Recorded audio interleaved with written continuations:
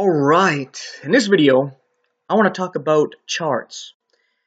I was getting back into the book Dispensational Truth by Clarence Larkin, and in the book, like all his books, he has charts to help illustrate what he is saying and break down the Bible so that you can see things out and how they, they all line up.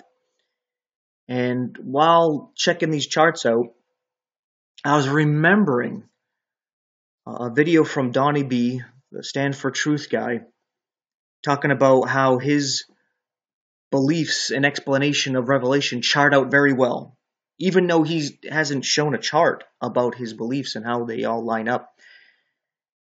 And he was saying how the opposing view does not chart well. And I was like, you know what? I, guess I'll make this video to disprove that. I know, I think it's on the 28th, this Thursday, he's having an open mic discussion about end times theology with Kent Hovind, I believe. I'm going to try to check that out and actually be there so I can ask a couple of questions.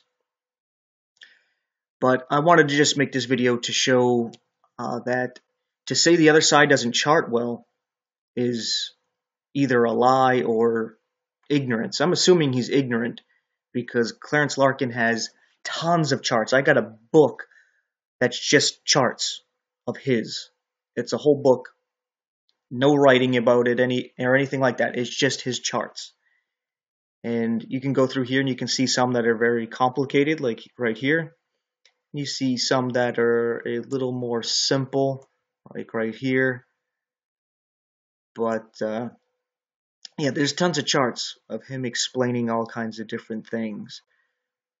And I'm just going to skim through so you can see different stuff to do with the whole timeline of 7,000 years, stuff to do with the tabernacle, stuff to do with Daniel's vision, Revelation's vision, Daniel and Revelation combined, um, what's going on with the heavens, as you can see, talk about like the third heaven, the and then what was going on under the earth, it gets all kinds of charts to help visualize and explain what the Bible is saying.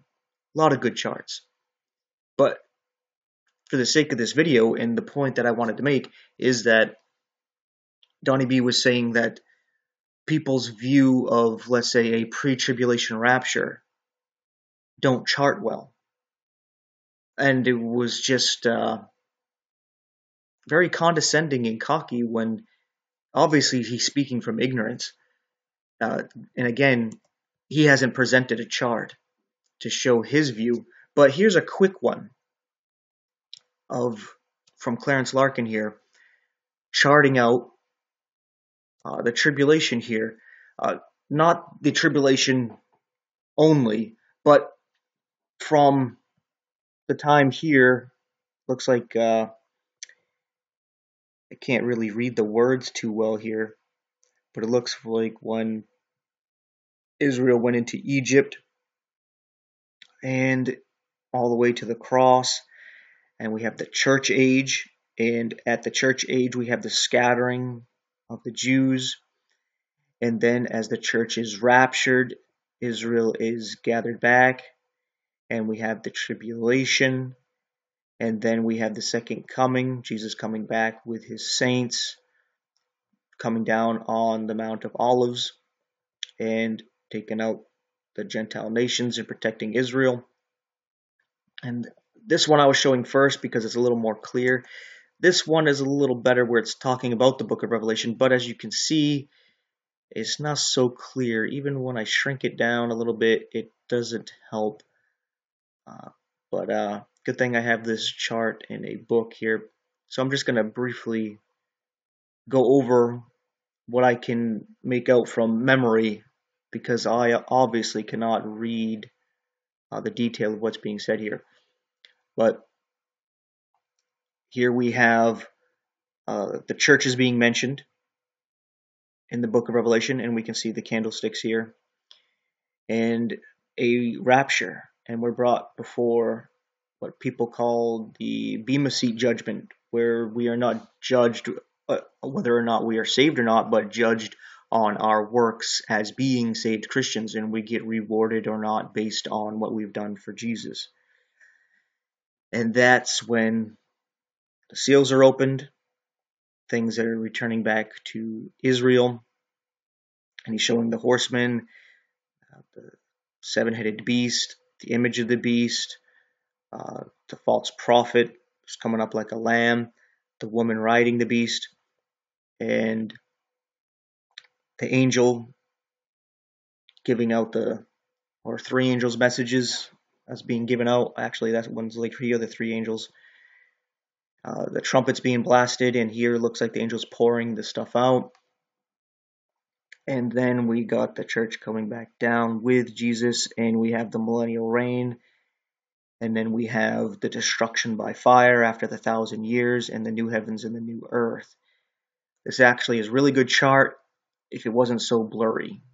I could get into more detail, but this is all shown out. He gets into each little plague and everything. Very detailed. I'm not saying it's 100% correct, but it charts very well. And this Donnie B was making it seem as though charting out is evidence of being right or wrong. And uh, if that's the case, I would like to see his chart, not just claiming that he has one and it charts well. And uh, yeah, the other side charts very well. Matter of fact, I'll try to look for one that is a little clearer so that you don't just take my word for it. I know you can look for these things yourself, but I'll help you a little bit. Let's just go with, uh, oh, I spelled his name wrong. My bad. Let's go Revelation charts.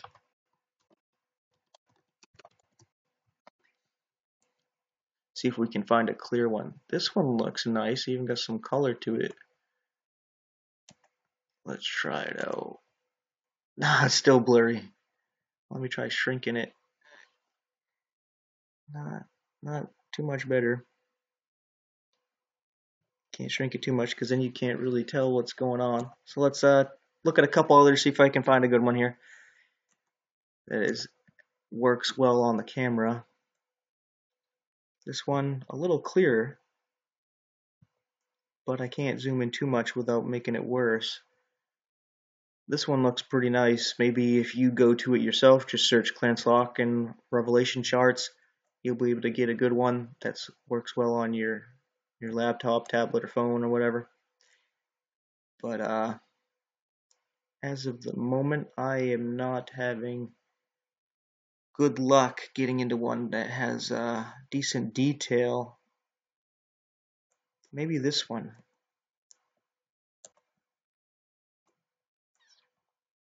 Again, no. I'm just going to try a couple more, so if you want to sit through the video and wait, or if you want to cut it off now, that do what you're gonna do.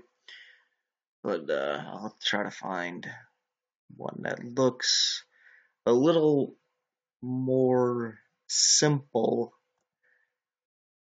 so that it's not so detailed and might be able to show up clearly. This one looks good. Looks like it's in Spanish though and very detailed.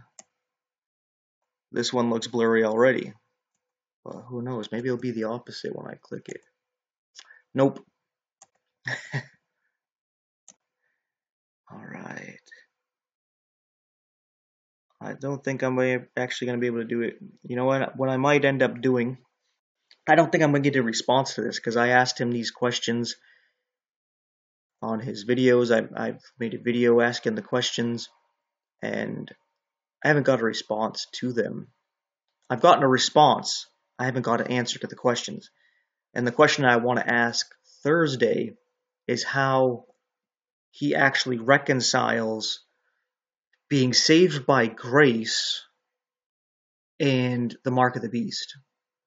Because during the tribulation, the mark of the beast is going to be given out, and you're going to be saved by whether or not you take that mark or not. So that's no more grace, right? Because if you're saved by grace, you can take the mark of the beast. So I don't see how their belief actually fits together. But maybe they see something I don't see and they can explain it. Uh, hopefully, I get to ask that question on Thursday. Hopefully, I'll be able to get on there. And if not, hopefully, somebody else is there and they ask that kind of question. This looks like a nice one, but I don't think I'll be able to see. I'm going to look for one more. I want to focus on Revelation. Less information if we don't include Daniel in there. Might be able to get a little bit more detail to show up on the. How about we use this one? This one looks like it's not so bad. Alright, it's not detailed, but you get the idea of the cross. Uh, we get the church age, rapture, and the resurrection of the dead. They go up before we do. And then the great tribulation. And then we are coming back down. And he reigns for a thousand years.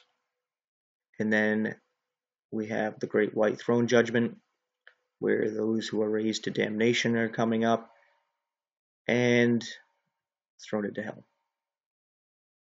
the lake of fire. So here we even get a little chart of when Jesus comes back, the raising of the tribulation saints. And I think it's weird that I see this happen all the time. I'm going to end the video with this. Is Donnie B was saying that oh the tribulation saints is not something that's in the Bible. There's no mention of like tribulation saints. And it's like, yeah, but that's just call what we call the saints that are saved through the tribulation.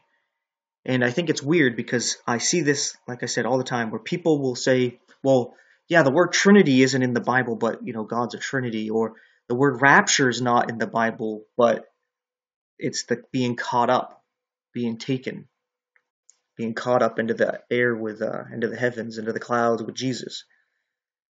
Right? Eh, you know that exact word isn't there, but it's a word we use to describe it. Such as the word Bible is not in the Bible, but that's what we call the scriptures, the Bible. Right? I mean, just because the word is not in the Bible doesn't mean it's not a word used to describe something that is in the Bible. Yet these people will use this argument, but at the same time, they will say things like that, right? Because I'm sure Donnie B would say, "Oh yeah, the word Bible's not in there, the word Trinity is not in there, the word rapture's not in there, but it's still in the Bible." But then he'll turn around and say, "But tribulation saints is not something that's in the Bible," and it's like, but it's used as something to describe something that's in there. Eh, I see this happen all the time where people will use this argument and then refute it when it, it fits their belief. When it doesn't fit their belief, they'll use it. it. It's just mixing, matching with it. They're very inconsistent.